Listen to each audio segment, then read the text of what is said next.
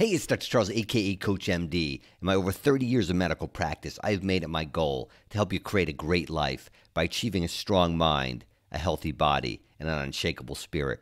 What I want to talk to you today about are some of the breakthroughs that are coming, really coming with true, authentic, real, cutting edge science. And this is about we're closer to curing blindness than most people realize. And you know, you take it for granted our eyesight, but vision, if you were to ask anyone, if there was one sense, one of our five senses that you would not want to live without, it would be our sight, our vision, and that's that's mostly I, I would say I, I would I would say that because the beauty and the vibrance of what we can see with our eyes is, is amazing. Certainly, people who are who are blind since birth have a different, obviously, a, a different feel for that. But um, I know that people who have are blessed and able to have, see know that they would not want to not be able to see. So let's take a look at this. Bionic eye, stem cells, gene therapies, visual impairment, better watch its back. Research labs haven't quite figured out how to turn water into wine yet, but they've made significant progress on restoring sight to those who can't see. What most of us would only entertain as a pipe dream or at least deem far off in the future is already here. Scientists have identified a variety of legitimate methods of curing blindness. Yeah, it's happening, actually. Their progress arrives at a good time, too, as the National Institutes of Health predicted a few years ago that num- the number of people with visual impairment or blindness in the United States is expected to double to more than 8 million by 2050. That number does not include the many millions more with correctable eyesight issues, such as nearsightedness or farsightedness, or as one gets older, right, presbyopia. That's the the that's why I'm wearing these glasses here because our lens changes, it hardens as we get older, and to see the fine print, the the smaller print, is very difficult. But you know that that's that's minuscule. I'm not complaining about that. If if I couldn't see uh, anything that or, or very poorly or legally blind, that would be a real issue, right? So we're talking about age-related blindness or, or other sorts of blood people who are, uh, are injured or who have or born with it, but age-related blindness is mostly due to macular degeneration. A recent feature at FreeThink discusses the three modes of treatment that currently hold the most promise: bionic eyes, stem cell transplants, and gene therapy. Now, how does it work? Well, bionic eyes are likely the clunkiest of the three solutions, as you might imagine. They involve an electrical interplay between a, a pair of glasses with a camera attached to them and an implant somewhere near the back of the eye. The implant receives information from the glasses, which it relays to the brain. An important note this system doesn't produce images, it inter polates light, movement, surfaces, corners, etc., to give the visually impaired person the capability to move freely through the world. So it's it's more safely, uh, it's it's more it's a safety. Uh, uh, bionic eye, right, for our own safety, so we can navigate the world. Uh, however imperfect that may sound, it's a radical improvement to their alternative, right? Uh, because otherwise, they need to wear uh, use a cane, um, and it's dangerous or uh, yeah, a cane with a a, a dog, perhaps. Um, but you know, this is this much much more safe to do it that way if, if it can be done. There's some promising tech out there.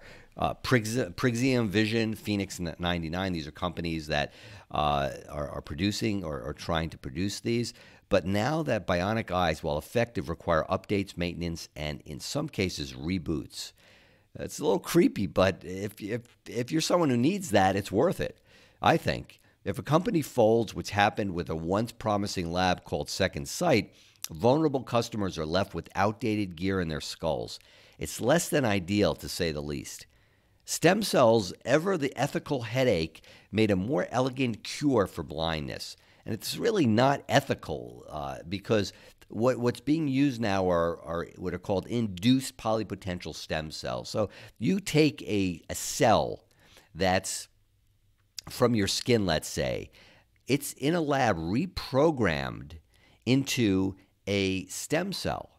And that stem cell is then differentiated into whatever other cell that you want. So, for instance, a cell that's um, uh, a heart cell, or in this case, a retinal cell. So, induced polypotential, st- uh, uh, pluripotential t- stem cells are not embryonic stem cells, has nothing to do with abortions or anything of that sort. It's your own cells being reprogrammed. This area is linked to old age blindness or diabetic blindness, macular degeneration, or retinopathy in diabetics. Scientists are able to make new RPE cells from stem cells, as these are the retinal pigment epithelium cells from the stem cells as I'm talking about, and plant them into the eye, which more or less gives the whole region a breath of fresh air. Studies have exhibited that these lab grown RPE cells not only stop vision loss, they can even reverse it. I know the University of Wisconsin is really working on that. They have a whole division that looks at that. Uh, the only issue, we need a, a lot more research before this sort of procedure is deployed for the masses. But I know of people who have had this and have been cured, actually. Plus, at the moment, it only appears to work on blindness caused by defective RPE cells. But that's a, a huge uh, population of people.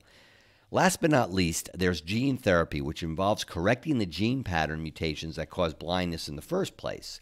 Uh, th- this can be congenital, wh- what you're born with. One such mutation in the RPE65 gene, which leads to a condition called Leber congenital amaurosis, can be met with a novel therapy called Luxturna. Okay, that's congenital, something you're born with. The FDA approved it in 2017, and a spokesperson said at the time, I believe gene therapy will become a mainstay in treating and maybe curing many of our most devastating and intractable illnesses. Yeah, I mean, I agree with that. While Luxturna is designed to treat a particular and sort of rare hereditary mutation, the implications here are huge. Gene therapy could conceivably be used to treat any sort of progressive visual dysfunction, from age related macular degeneration to the very common retinitis pigmentosa.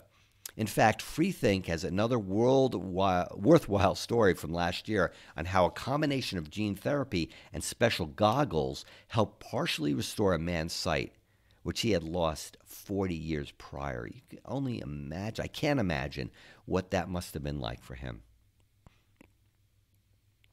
Of course, gene therapy can't cure blindness if it wasn't inherited. If you lost sight in the eye due to a horrible accident, you'll have to seek a different solution. Well, maybe the bionic solution. But that's the beauty of modernity. What kind of word? Modernities, modernities multi pronged approach to solving scientific dilemmas. There is rarely one cure, which makes sense. After all, there's rarely one cause of any an, an affliction. While all of these therapies are expensive, ex- experimental, and nowhere near perfect, the future is looking clearer than ever. And I have to say that I have known people, I know people who have had some of these procedures, mainly the stem cell uh, procedure, and it does work and this is coming really fast and it's very exciting and it's it's good stuff i have to say. So uh, let me know what you think. Love to hear from you. Until next time i'm dr charles aka coach md urging you to stay strong in mind in body and in soul. Bye for now. Dr charles coach md thanks for stopping by. Make sure to like and comment below. I'd love to hear from you.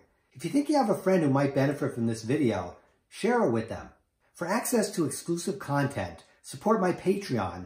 There you'll get private access to videos, meditations, health tips, even relationship and financial tips. You'll have a say in what I produce and be able to participate in a monthly call with me.